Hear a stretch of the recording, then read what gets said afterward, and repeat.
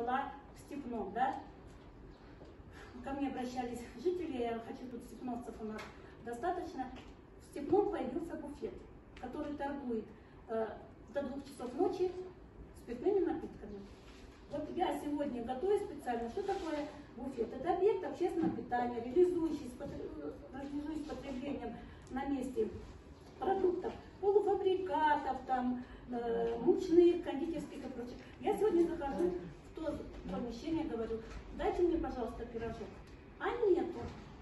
А бутерброд? А нету. А ничего нету. Негде руки помыть.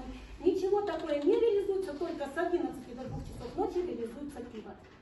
Сельская администрация обратилась, вот жалко, у нас ушел прокурор, обратилась в Роспотребнадзор, обратились в полицию, все написали, ну это же буфет, ну так, а с другой стороны, да, сейчас малый бизнес не проверяется, только если в случае нет угрозы жизни и здоровью.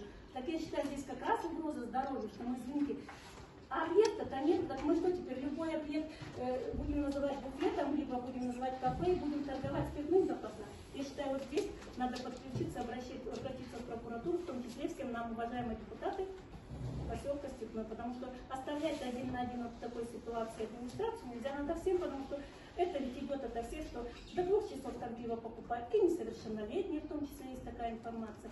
Но они ничем не, едят, не задушены там просто, и все спокойны. Мы-то с вами не можем быть спокойны, потому что это касается будущего, в том числе района.